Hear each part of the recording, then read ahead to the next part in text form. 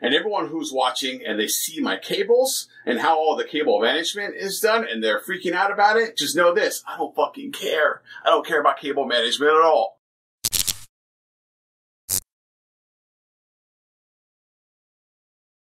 It's Sunday and I've been gone all week in Arizona for a family trip.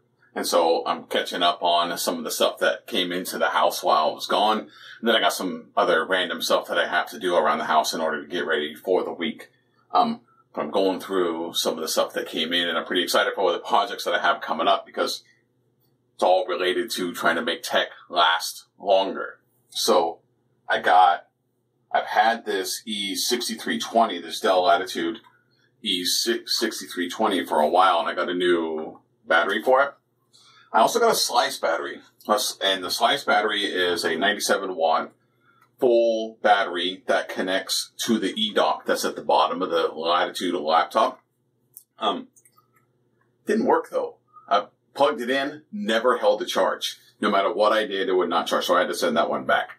See that later in the week. But I did get a new battery for for this, and then I also got for the e modular bay a hard drive caddy. And so what I want to do is put a secondary hard drive inside of this 6320. That way I can take all of my data around everywhere that I go instead of just 120 gigabyte SSD that's inside of there. And this is really cool. It's my favorite thing about these enterprise laptops is that they have all these crazy features. So I talked about the um, slice battery that plugs into the bottom of this, but you can also change out in this port where the CD DVD drive is.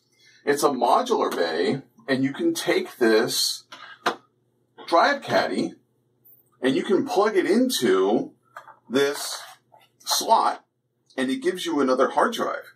You can also get for USB ports. Now I decided against the USB ports because I didn't need a USB 3.0 all the time. And I didn't want to take up this slot with two USB drives because I really wanted the hard drive.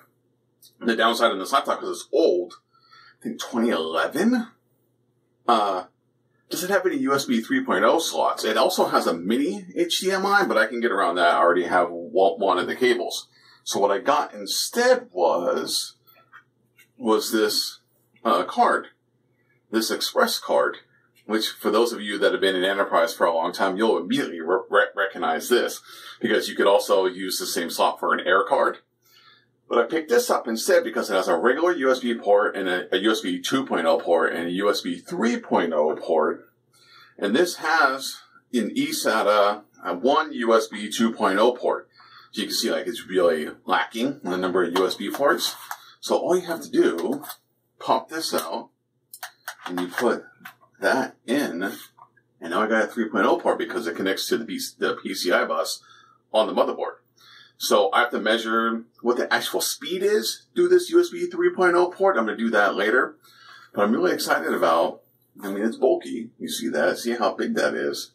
But I'm really excited to try it out and use it because I don't always need it. So if I need to connect something that needs to move a lot of data, I can do that if needed. But I don't think I will because I have this hard drive caddy. And I can swap it out for all kinds of other stuff, including they have a battery. So if I wanted to, you could triple battery this. You could do a regular battery, you can do a slice battery, you can do an E-modular battery in the, in the side port too. So if you really needed the, the battery life, you could really load it up. Uh, so I'm excited to play with all that stuff this week. I just got my hands on some surplus stuff that all came in while I was gone too. So an official e-dock for these Latitude laptops. I have a couple of them around, and so this is a full size e-dock, um, the Pro 2X. So it has dual video out. This will have USB 3.0 slots, which is why I didn't need the permanent 3.0 slots in the laptop. Because when it's docked, I can have my 4 bay external uh, hard drive array plugged into the USB 3.0 slots here and it worked just fine. But really exciting is that in this dock, it's got the PS2 connectors. And I know you're thinking PS2, why the hell would you have in modern time, in nowadays, why the hell would you have a PS2, why would you be excited about that? Everything's USB now. Because I also got this, this behemoth of a, a keyboard. It's a Unicomp keyboard, like the IBM Model 2 keyboards back in the day. Oh, sorry, the Model M. Um, this is like my favorite keyboard of all time. And listen, now I can be really annoying too. But this has a PS2 port because you know it's old. So I'm excited to put this into that with that or other laptops and be able to use this keyboard along with it because I could type like 900 words a minute on this keyboard. I haven't even gotten in, into it yet. The other thing that I got on the surplus is this workspace re- replacement, workstation replacement laptop. Old. We're trying to rescue this thing. It's in really great shape, so I'm not really, I don't have to work hard to rescue it. This is a Dell Precision M4700. I haven't gotten into the specs of this thing yet. It's massive. So it's a workstation replacement back in the like the early Windows 7 days. So it's got a behemoth of a screen, 1920 by 1080. It's got eight gigabytes of RAM. It's got a spinning rust hard disk in it. I'm going to replace that with an SSD.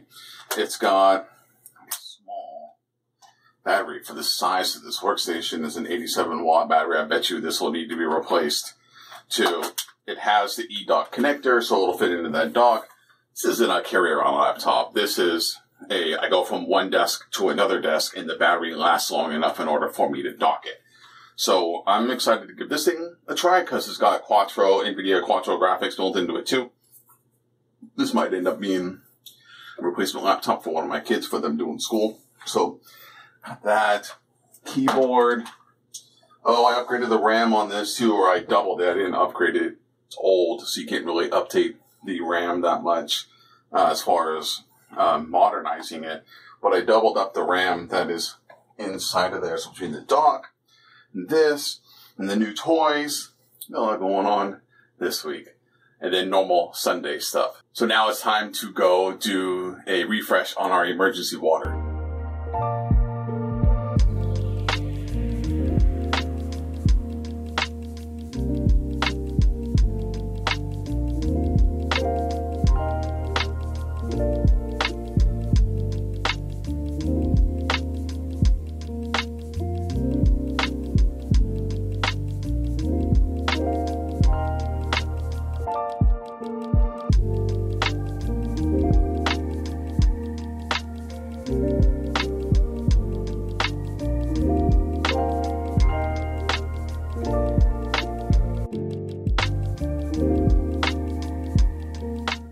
Monday and I got like some office cleanup that I need to do.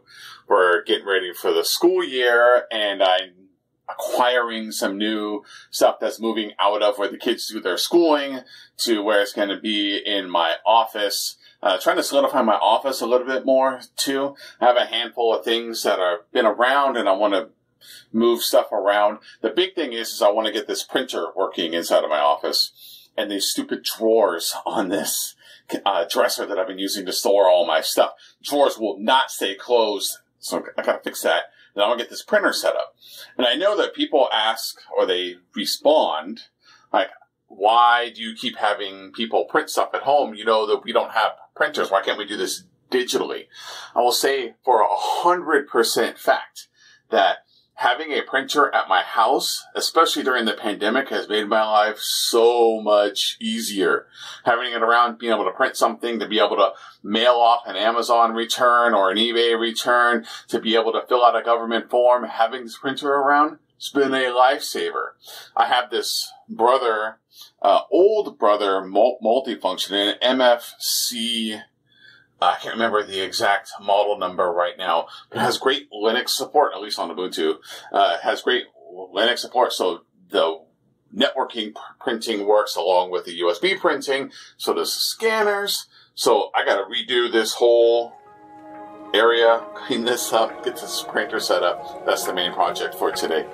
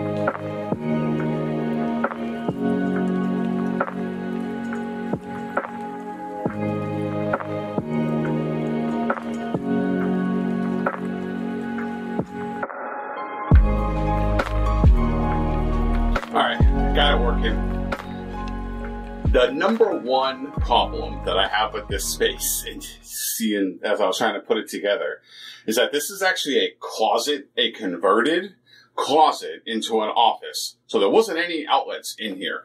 I changed a hallway outlet, flipped it around on this wall, flipped it around so that it was facing into the closet. So I have one outlet that all of this stuff has to plug into, and it's in the most awkward spot in the whole room because I want the cameras and everything face on the same wall as the windows. So it's a huge pain in the ass having to try and find room to plug stuff in, especially when everything only has like four to six foot long cables. So everything has to be within four to six feet of the surge protector that I have that's on like a 10 foot cord. That way you can go around and over to the other side. So that it's always huge pain in the ass. One of the things that's getting cleared out is this desk phone. I'm moving it from my office down into the shop, or better known as the garage. Uh, just feels like it's a better spot for that when I'm working out there, uh, being able to get my phone to ring instead of being here at the computer, which I could just use the VoIP because it's all through Google Voice. And what I'm using is, is this ObiTalk, uh, OBi200 Google Voice adapter. So it's got Ethernet in and then a regular phone jack out, and then I connect to that. It's worked great. And I love having a desk phone. I'm going to move it out to the shop. That way, if, if the phone rings, I can hear it here at the computer, or I can hear it out in the garage. So this is getting moved out of the office because it's just redundant. And everyone who's watching and they see my cables and how all the cable management is done and they're freaking out about it, just know this. I don't fucking care. I don't care about cable management at all.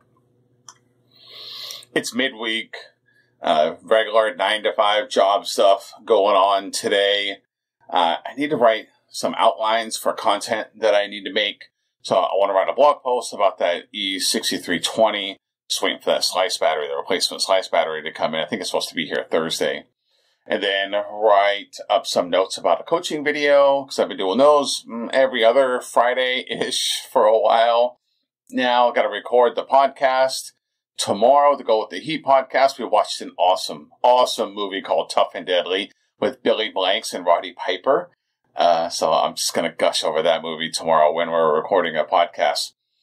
Just, I'm thinking about today about writing a blog, doing a coaching video, shooting these, recording a podcast tomorrow, you know, social media stuff and, and normal marketing stuff for work.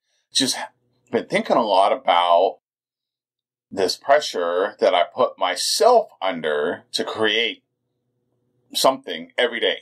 Just, I can't let a single day slide without making something. And every day that I look at my task list and there's a gap in there, I immediately try to fill it with some sort of creations. Make something, plant something, build something, publish anything, publish anything for someone out there to be able to consume. Even if it ends up only being like one person, that's just where I spend all of my mental capacity in trying to make stuff. And I, it doesn't even matter if people watch it. It's just a fact or read it or, or listen to it. That's just the fact of making it. That's where I feel the draw. And I think that's why I fit in with, with marketing so well is that I just have this constant draw that I need to make something, need to publish something. And to other people, like in my house, they think I'm nuts because they just want to take a break. Think of when you have some free time that you can sit down, just relax and watch a TV show or read a book or just kind of zone out and, and, and take a mental break. I just can't do it. I can't do it. So just what's been on my mind today in between making all this stuff and oh, it's my my monthly backup time too for my home lab and for my cloud servers, which is the times where you can really tell that I'm not a sysadmin by trade, that I'm in marketing and just for fun. I like to do this kind of stuff. I like to do self-hosting and and Linuxy stuff because when it's time to actually do real sat- sysadmin stuff like running backups, it takes me a while. It takes me a while. But I don't know that much about Ansible or Kubernetes or, or running that stuff. So I do a lot of stuff old school, running uh, rsync backups into and then tarring them and downloading the tars from the tars from uh, SSH. He'll do stuff old school way to be able to download it. But it gets done, right? I got backups all over the place. I've I've reinstalled from backups and they work. So I mean, I'm not complaining. It's just slow. I know with some Ansible playbooks, I could probably make this a lot faster. But do I want to learn them? I mean, do I want to learn them? I seem to be doing a lot.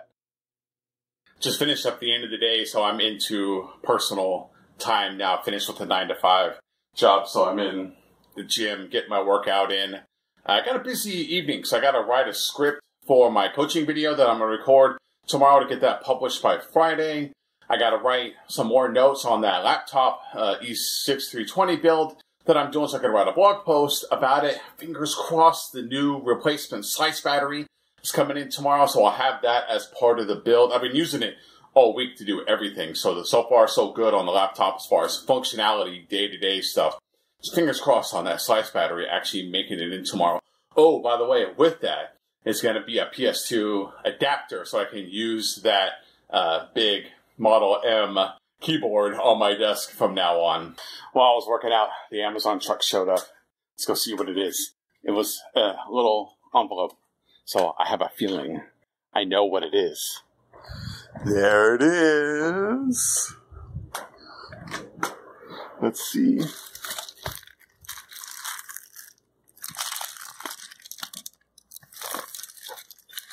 Easy tear my ass.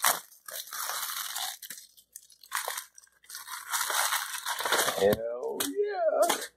Old school. Let's do this thing.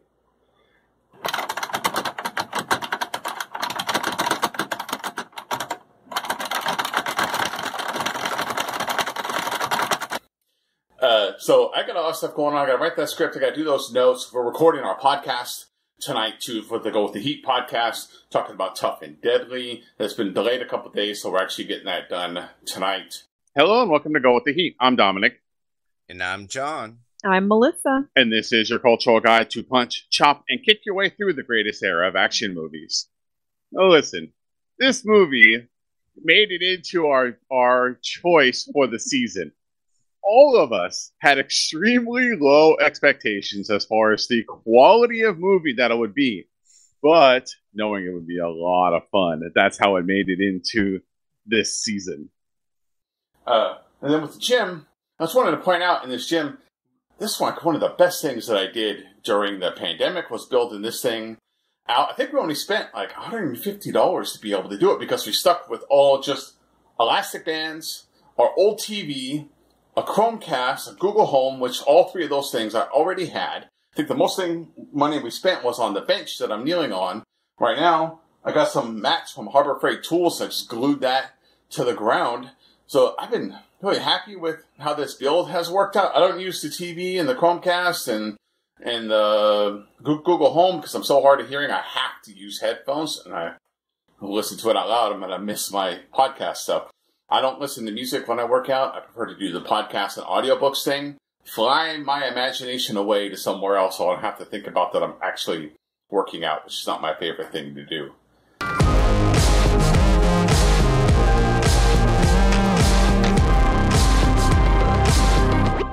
Hello, friends, and welcome back to your weekly Linux talk show. My name is Chris. My name is Wes. Hello, Wes. Brush off all that Starlink debris. We have a show to do, would you?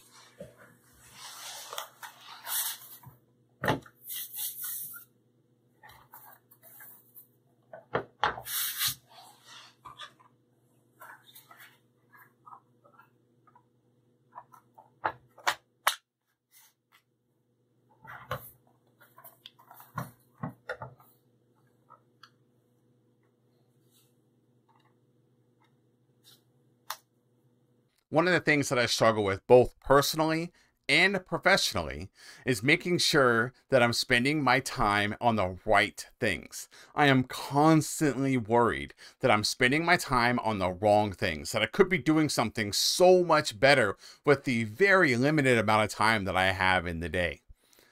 I've been thinking a lot about this recently as I've been spending time with my job professionally and then what I've been doing in my personal life. And it's summer and with kids, and the kids are getting ready to go back to school. So am I doing am I doing the right things?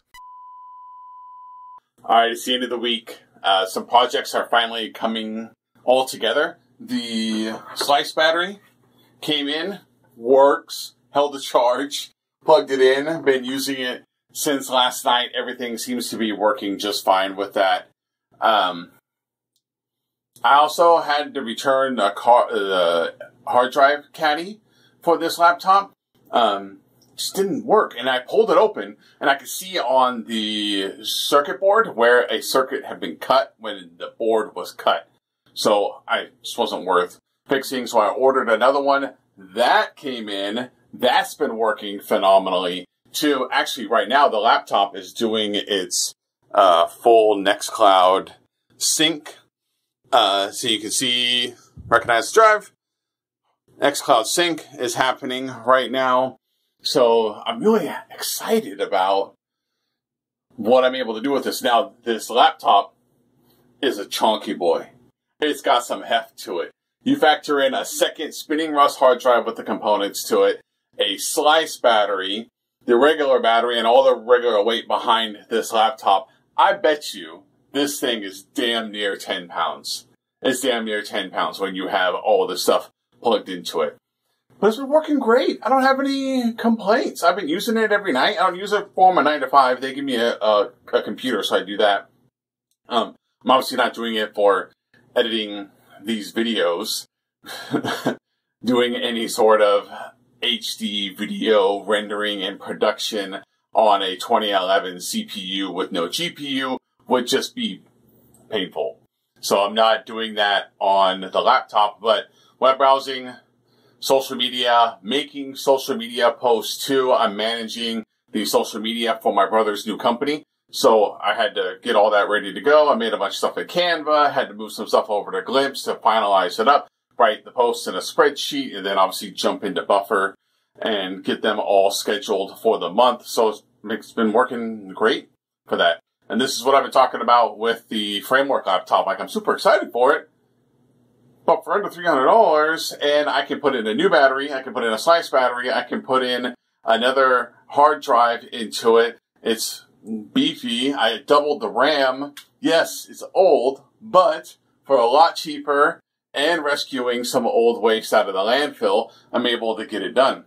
So this weekend, uh, we're heading up to a new store. So I'll, I'll probably bring you along with that. We're going up to a new food store in Tacoma, see if we can get our hands on some cheap fruits and vegetables. I gotta make a pop over to a local shop to talk about a generator. We want to get one for the house. I don't know if you know this, but the Northwest gets some serious weather. So we want to have a generator around too so that we'll be fine during the winter. Um, we only need about 2,500 watts, so we don't need anything very big. I don't anticipate it to be too expensive. So uh, I got a busy weekend between that and playing basketball with the boy, the girls got some new fish.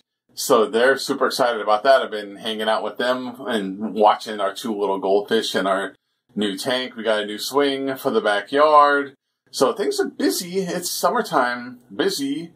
A lot of production work next week. You looking at the fishies? Where'd they go? They're right there. Oh, there they are. Shimmer and jelly. Right there. They're right there. You don't bang on it though. I'm just sticking his nose. Mm-hmm. Are you showing the fishies the fishies? I think I show a book from magazine. Oh, okay.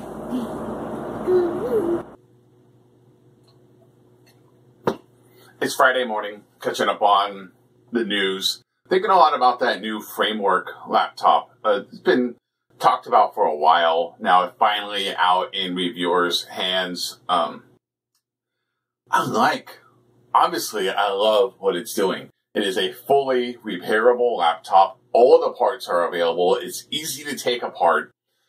is my number one complaint about laptops now is that you're buying it in the anticipation that you're going to have to upgrade it by buying an entirely new device instead of being able to fix the one that you have.